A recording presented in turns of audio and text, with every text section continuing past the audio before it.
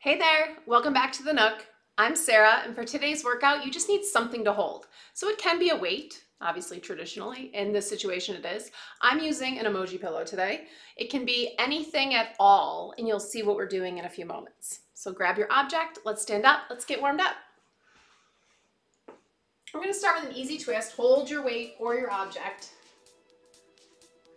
Very easy, just starting to twist it out. We're doing a lot of bending and a lot of twisting today. So as always, listen to your body. Let's make this a little bit bigger.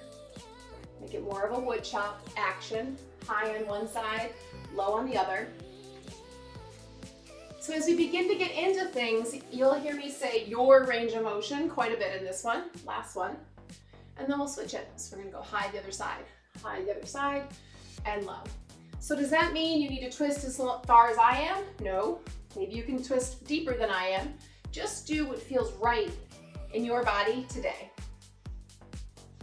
Last one, hold your pillow or your weight out in front and lift those toes towards it. So legs are straight, doesn't matter how high you get as long as you're feeling the stretch to the back of your leg. Keeping those arms out straight, switch it. So turn it into a butt kick. Start to engage through your core.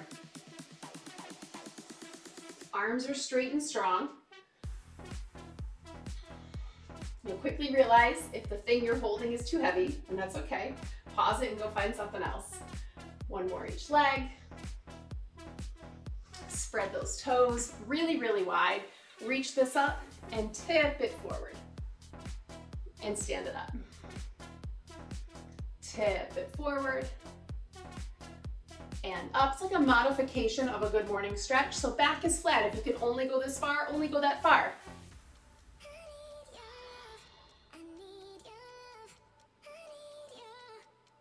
That's better. Last two. Arms come up, lean it over. So finding that big side stretch, keeping that core engaged, using your abdominal muscles to help you stand up tall. So besides your object, you need some water and just about this much space today. Last one, other side. Hold your object at your chest, lean it over one side and switch. So sinking your hips back like there's a tiny chair behind you. Doesn't matter how low your chest goes. If anything, your chest stays lifted. It's all about how low your hips go.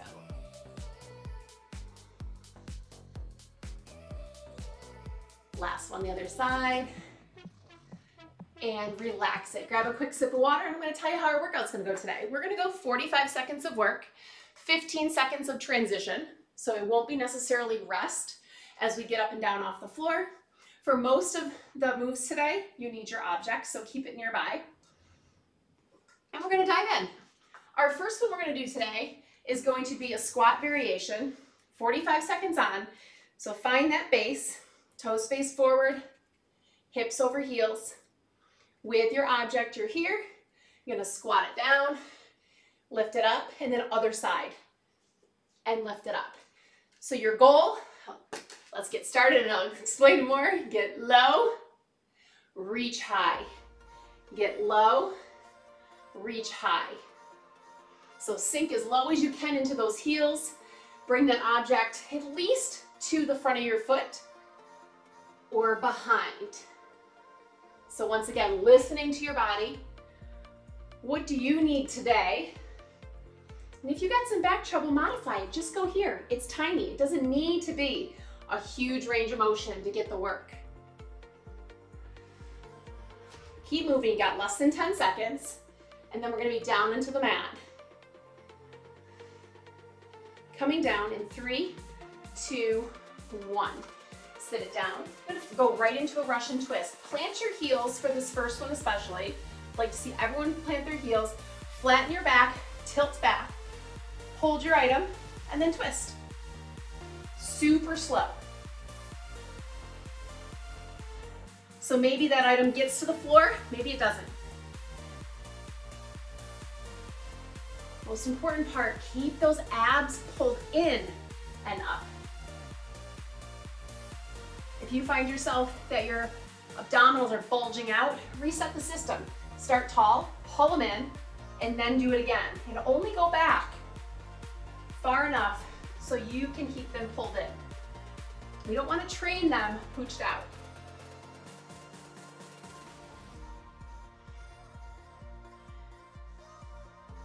Five seconds, make sure you're breathing.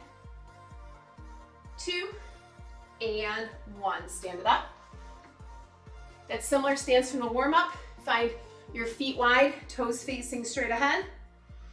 We're gonna lunge it down, lunge low, lift high, lunge low, lift high. Join me when you're ready. Doesn't matter what leg you start on, because we're gonna flip it right after this one. So let's go arms straight. I'll say straight-ish on this one. So shoulders get the work, upper back gets the work. If at any point the thing you're holding is too heavy, set it down, do it without it. Most of the workouts that I do, especially the ones I share, don't involve weights because I don't want to limit your ability to do the workout if you don't own weights, and that's okay. 10 seconds.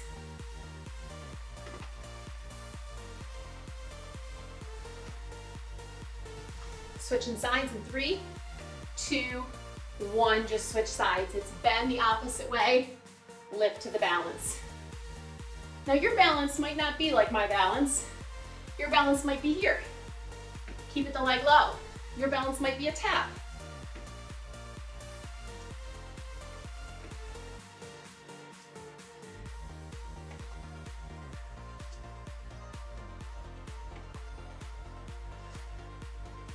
So good. So strong. Make sure you're sinking low into that lunge. I caught myself cheating on that last one. Sink low.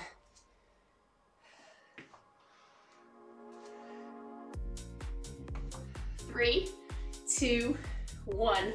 Relax it. Come on back down.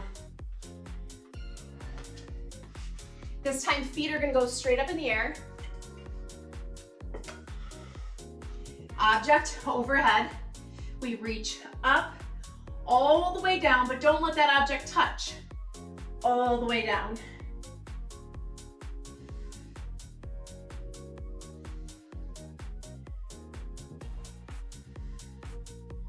If you want a little more work, squeeze whatever you're holding together. If it's a stuffed animal, this is a great one because you can make it smaller, physically make it smaller.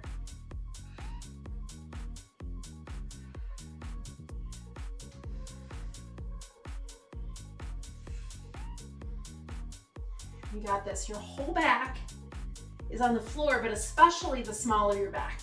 That lower back is on the floor. Three, two, one. Relax it. Stand it up. Our transition, going back up to our curtsy lunge this time. So pick a foot forward. It'll be same like the side to side, so there's no break in between. Here we go. We curtsy it out we stand it up. Oh, there goes the balance. There goes my object. We curtsy out, hips facing forward, we stand it up. Now if your balance looks a little bit like my balance today, curtsy out and then just tap together.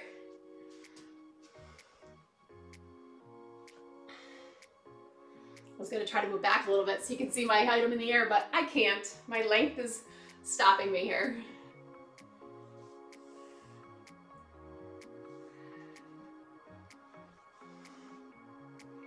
15 seconds until we switch to the other side. As you go low in that curtsy, squeeze those hips towards the midline. Three, two, one, just switch sides. Step it back, square forward, curtsy, and up. Take a minute to get the form on the second side. When you get low, you want those hip pointers facing forward.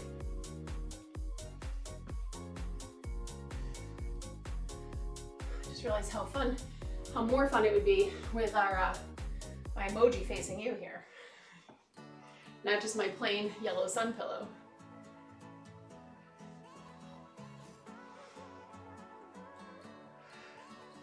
You fall out and you don't have the balance today, like not me on this side.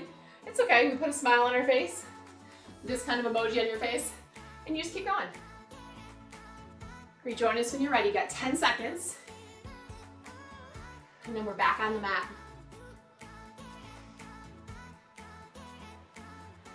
Two and one. Bring it on down. This time, item's gonna start behind one wrist.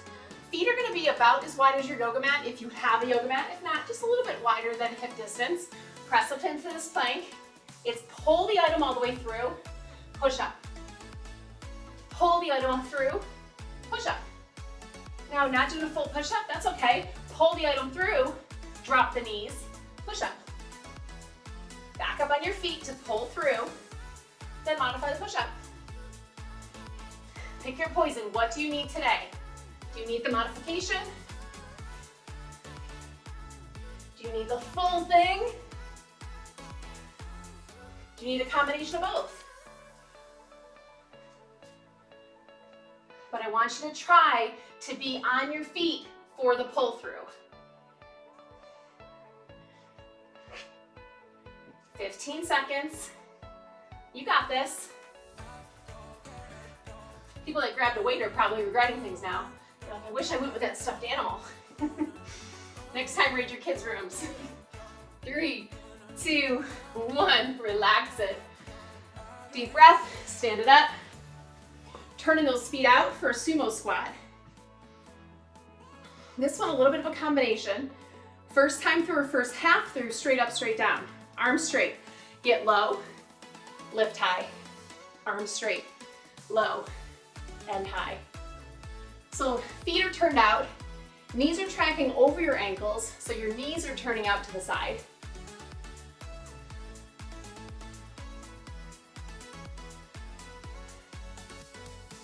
This one's slightly different because we kind of have like a finisher for this one at the end. But just focus on what you're doing right now. How low can you get in that squat? How high can you lift your arms? Maybe even come up on your toes.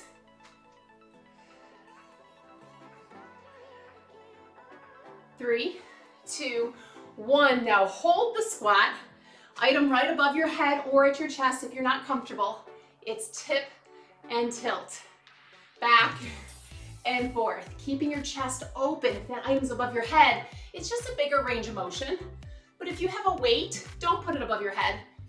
Keep it at your chest. Sink low in those legs. It's not as long as a regular round, it's just a finisher.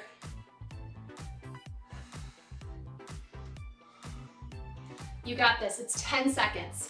Can you sink a tiny bit lower?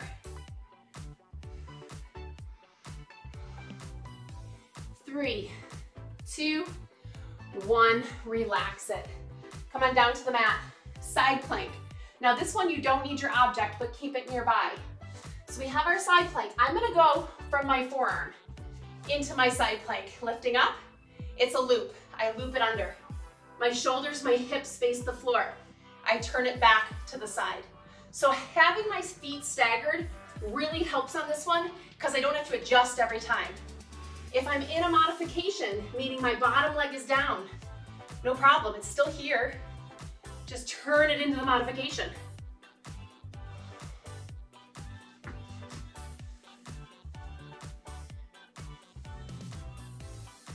But your goal, think I'm facing the ground, I'm facing the sidewall. I'm facing the ground. I'm up, everything faces the sidewall. Switching sides in three, two, and one. Just a deep breath and then right into it. Side plank, face it under. So you're more than welcome to try to stack your feet and twist, but you'll find your hips get stuck, right? Your hips can only go so far. I'd rather have you stagger the feet and twist everything facing the mat.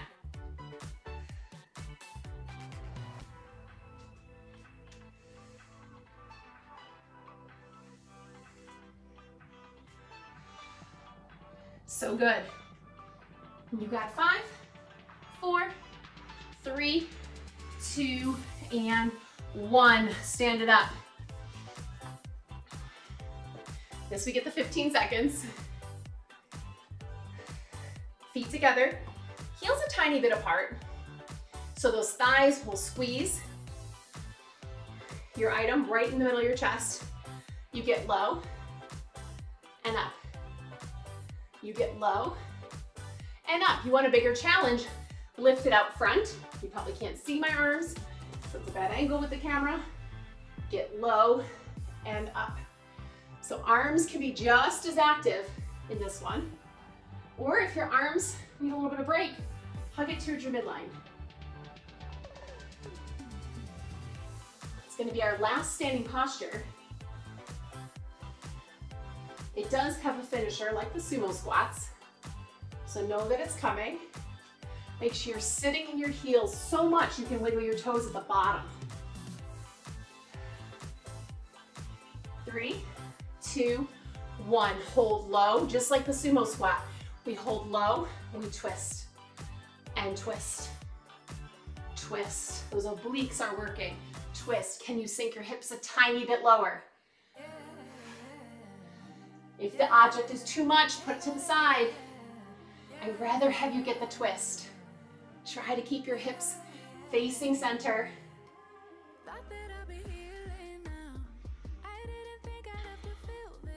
10 seconds. Can you sink even lower? Lowest one of the day. Last one standing. And we have one more on the ground and that's it. Three, two, and one. Down on the ground. Put your object out in front of you.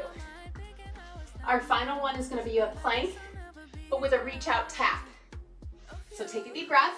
It's our last 45 seconds of work. And you can modify the plank or put it full.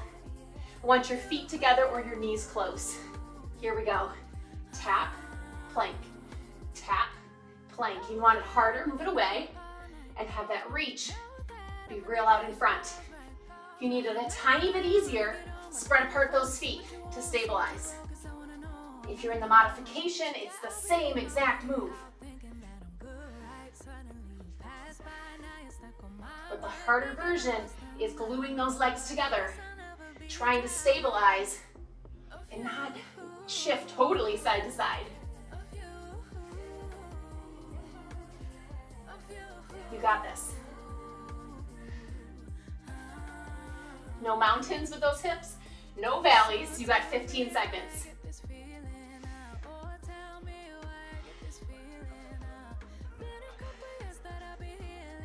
Last five, four, three, two, lower it all the way down into the mat. Put one ear to the side, windshield wiper those legs.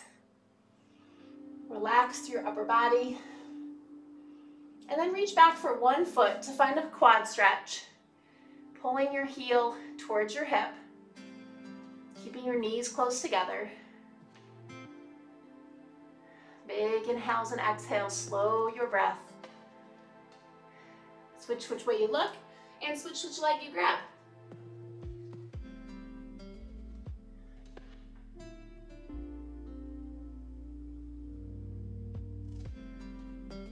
roll it on up, roll it on over. One leg in, one leg out. We're gonna go over the top first, so let's stretch that side body that works so much today. Your goal might be your foot, but let's not sacrifice the side body bend to get it there. Reach it up, reach it over, keeping your chest open. Maybe even gazing up towards the ceiling. And then we'll fall to the center, keeping this foot towards the sky, feeling it in your inner thigh. And then our last one this way now, we'll switch our shoulders towards that extended leg and think heart to shin or heart to knee to find that length. Maybe our hands can walk out on your shin or your toe. And come up nice and slow. We'll do the same other side. Kick the other leg out one leg in. First, we're going over the top. Reach it up, over. Noticing the difference between each side. Look up underneath that arm. Yes, you'll feel this in your leg, but the, the biggest stretch you should feel is through your side body here. We'll come back up, go center, inner thigh.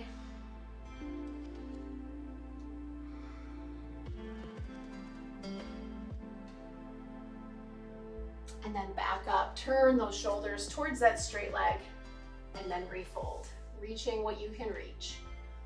Your shin, outside of your ankle, maybe your foot.